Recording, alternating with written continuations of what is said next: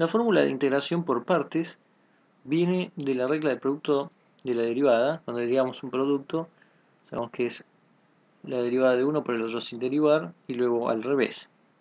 Si integramos eh, eh, sobre A y B ambos lados de la igualdad, d de x f por g, y también lo que tenemos del otro lado, que es f de g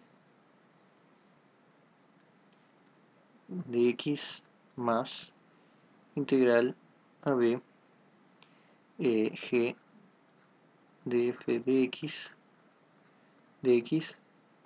hacemos esto, entonces por un lado sabemos por eh, el tema fundamental de cálculo, esto es f por g evaluado en, en A y en B, B y en A. Igual de este lado vamos a tener lo mismo, la integral a b de f por, acá vamos a ponerlo bien, es f por dg de x diferencial x más integral a b g de f de x. Si entonces pasamos esto hacia el otro lado y, o mejor dicho, este, esto lo dejamos acá y traemos este hacia el otro lado, vamos a, poner este. Y ahora lo que tenemos del otro lado y pasamos este hacia el otro lado, lo escribimos de este lado. Con un menos a b g de f de x x. Bueno, esto es integración por partes en una dimensión y sabemos que es una técnica clásica para eh, resolver integrales. Por supuesto, uno va a poder combinar lo que sabe de integración por partes, el cálculo vectorial y los temas fundamentales para tener eh, cosas parecidas a las que tenemos en una dimensión con lo que hemos visto con derivadas vectoriales. Por ejemplo, tenemos que eh, la divergencia de f por a, donde teníamos que f era escalar y a era vectorial, nos daba esta suma. Eso ya lo habíamos visto, que era una propiedad que había entre las derivadas vectoriales, digamos. Entonces, divergencia de fa, vamos a llamarle vectorial para diferenciarlo del escalar f, es igual a f divergencia de a más a eh, divergencia del gradiente de f. Entonces, si ahora hacemos algo parecido a esto, que es eh, hacer una integral, pero en vez de en AB sobre un volumen, vamos a tener eh, la integral, vamos a poner de volumen, FA de tau va a ser igual, ahora integrando de este lado, eh, integral volumen de f por eh, divergencia de a de tau y eh, integral volumen de a por gradiente de f. tenemos de tau y acá podemos utilizar el teorema de la divergencia, donde si integramos el volumen una divergencia nos da la integral de superficie sobre el borde de eh, eh, lo que teníamos el campo B en el cual estábamos haciendo la divergencia. En este caso, eh, esto que tenemos acá, la igualdad que vamos a tener por teorema de Gauss, es la integral de lo que tenemos adentro, en una superficie, en el borde de este volumen, y lo que está dentro es f a de a. Escrito de otra forma, si despejamos esta integral que tenemos acá, es la integral en un volumen de f divergencia de a de tau, esto es igual a pasar esto hacia el otro lado, que es eh, la integral, perdón, este no, este este ya lo tenemos acá, este lo pasamos hacia otro lado con un menos, era en un volumen de A, vamos a ponerle los eh, lo vectorial a la A por el gradiente de f de tau más la integral superficie de f por A de A. En este caso entonces también tenemos f Acá teníamos f por la derivada de la otra función. Acá en vez de la derivada tenemos la divergencia, que lo estamos tomando como una derivada vectorial. Y del otro lado tenemos lo que representa f por g evaluado en BA, que es la integral en el borde. ¿no? Esto sería como evaluar en el borde. Es la analogía que estamos haciendo, es análogo. Y esto con esto, es la otra función por la derivada que se le puede hacer a la otra función, que es el gradiente, porque este es escalar y este es vectorial.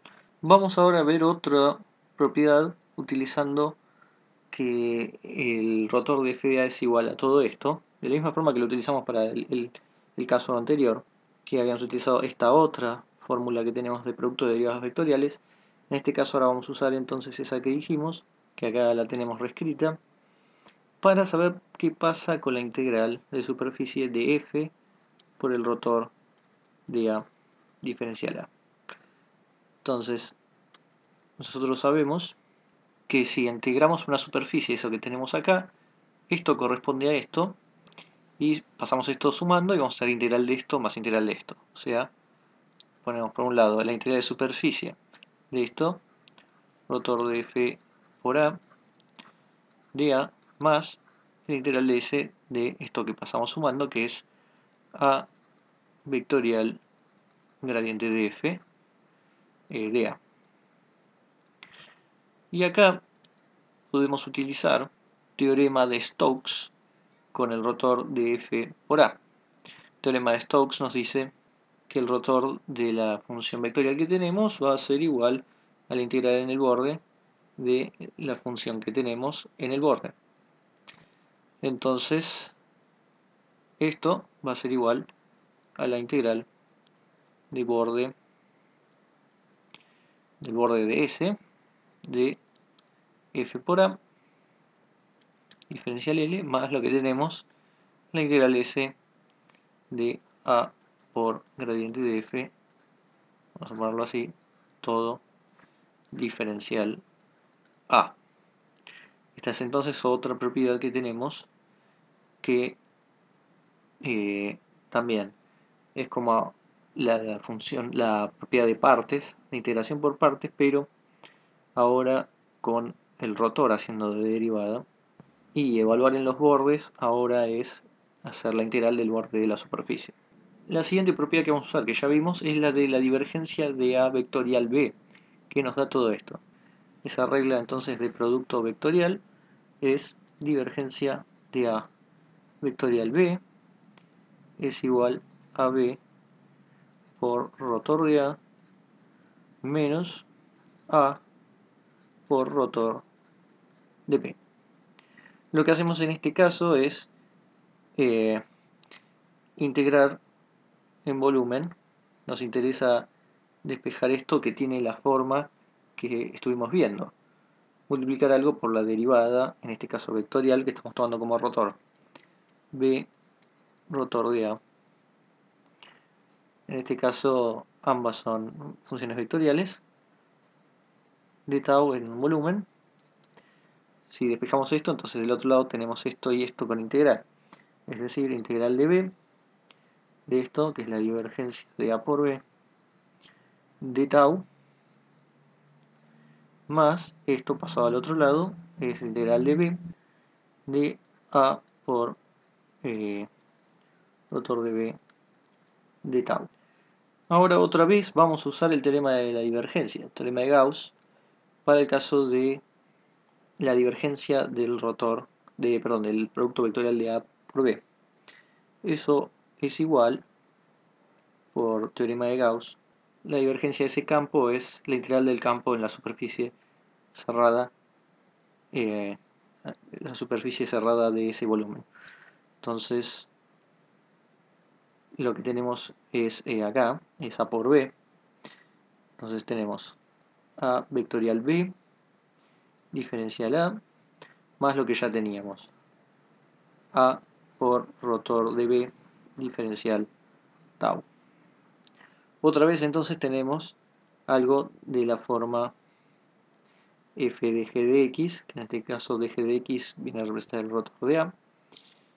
Y nos queda lo que la parte de hacer en el borde es el borde, es la, superficie, entre superficie de A por B, y eh, la parte que digamos estaba restando ahí es A, lo otro sin derivar, por lo otro derivado, ¿no? con el signo cambiado.